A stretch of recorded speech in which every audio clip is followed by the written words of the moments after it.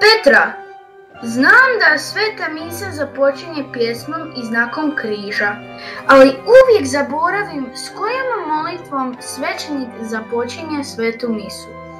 Možeš li mi reći? Mogu, svećenik započinje molitvom ispovjedam se. Tada molimo oprost od grijeha i molimo Mariju i svece da mole za nas. Kada započinje služba riječi? Ja ću ti reći Marko.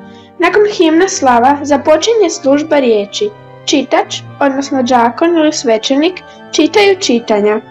Narod sluša Božju riječ iz Biblije. Aha, svećenik čita evanđelje, drži propovjed i tumači biblijske tekstove. Nakon toga moli se vjerovanje te zazivi molitve vjernika. Započinje li euharistijska služba prinosom darova? Tako je, kruh i vino se donose na oltar. Tada sebe sami prikazujemo Bogu. Potom slijedi najsvetiji dio mise, odnosno pretvorba. Možeš li mi objasniti što je pretvorba? Pretvorba je posvećenje kruha i vina u Isusovo tijelo i krv.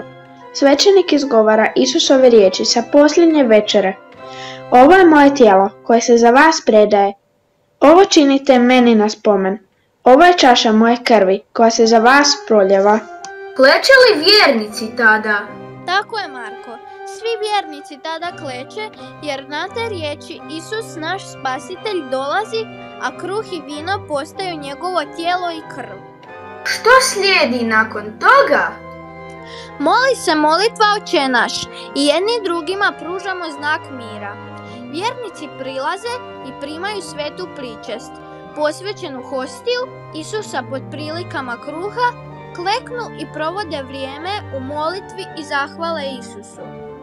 Zatim svećenik završava misu blagoslovom i kaže Idite u miru. Točno tako, uz završnu pjesmu vjernici dolaze iz crkve, noseći Isusa u srcu i nastoje provesti vrijeme sa bližnjima u međusobnoj ljubavi. Jedno čekam ići na svetu misu. Vidimo se!